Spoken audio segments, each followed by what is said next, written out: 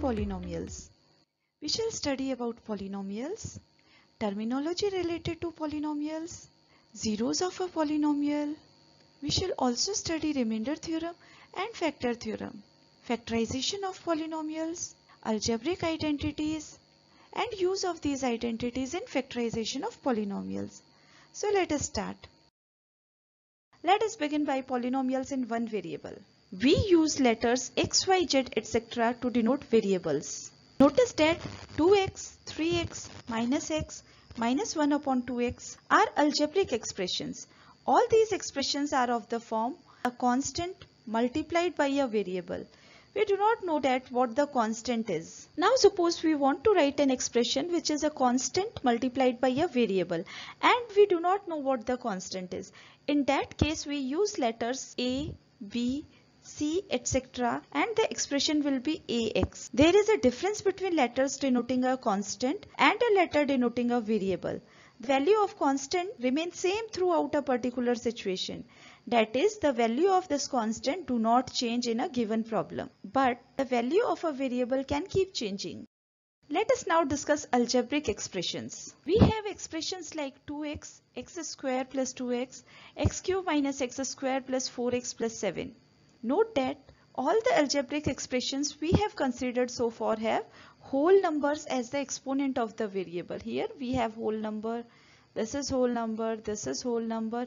Everywhere expressions of this form are called polynomials in one variables. For example, this is a polynomial in y, this is polynomial in t, this is polynomial in x. In this polynomial the expression x square and 2x are called the terms of the polynomial.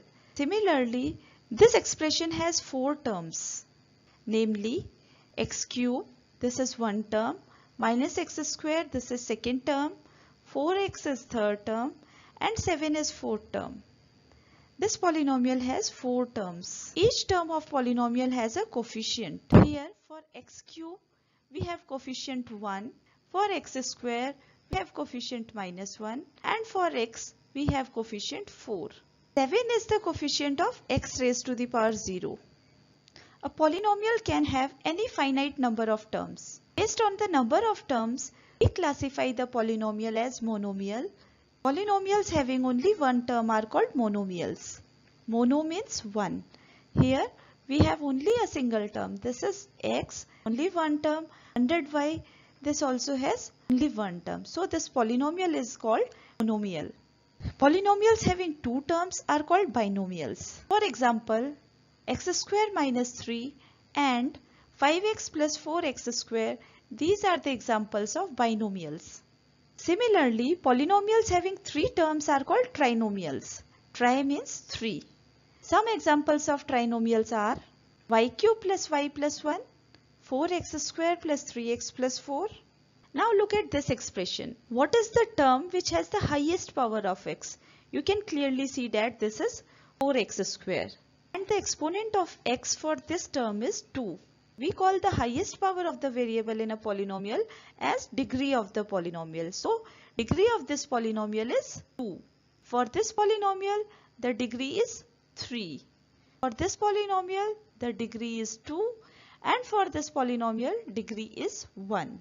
A polynomial can have any finite number of terms. This expression have 151 terms and we can see that degree of this polynomial is 150. Based on the degree of the polynomial, we classify it as linear polynomial having degree 1. These are the examples of linear polynomial. Both of these have degree 1. Now comes quadratic polynomial. A polynomial of degree 2 are called quadratic polynomial. Examples are x square plus 5 degree is 2, 5x square plus 3x plus 2 degree is 2.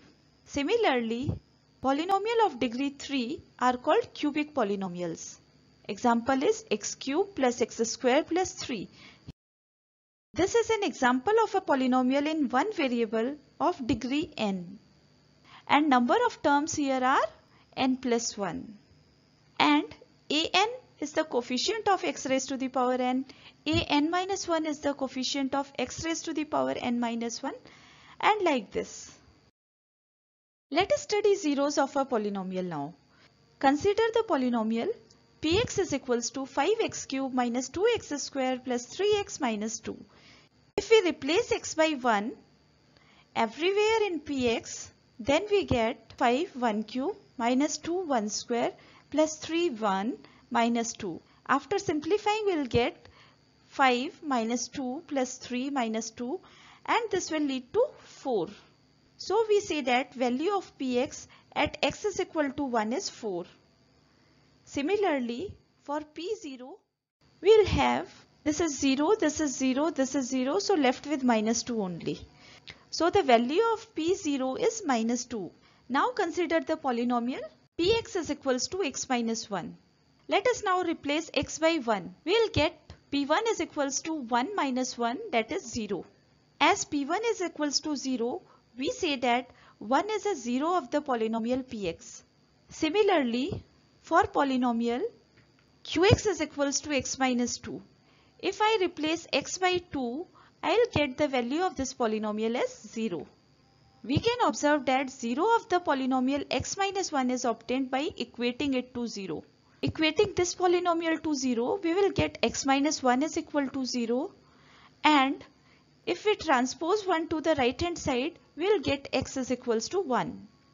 We say that px is equal to 0 is a polynomial equation and 1 is the root of the polynomial equation px is equals to 0. So we say 1 is the 0 of the polynomial x minus 1 or a root of the polynomial equation x minus 1 is equals to 0. Let us discuss one question here. Find a 0 of the polynomial px is equals to 2x plus 1. Finding a 0 of px is same as solving the equation px is equals to 0. Now we have px is equals to 2x plus 1. So equating this to 0 will get 2x plus 1 is equals to 0. This gives us x is equals to minus 1 upon 2. So minus 1 upon 2 is a 0 of the polynomial 2x plus 1. We observed here that a 0 of polynomial need not be 0. 0 may be a 0 of a polynomial. Every linear polynomial has 1 and only one 0. Or we can say that every linear polynomial has one and only one root. A polynomial can have more than one zeros or more than one roots.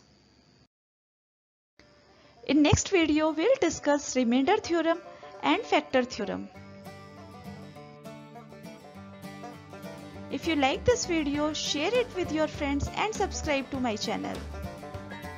Thank you for watching.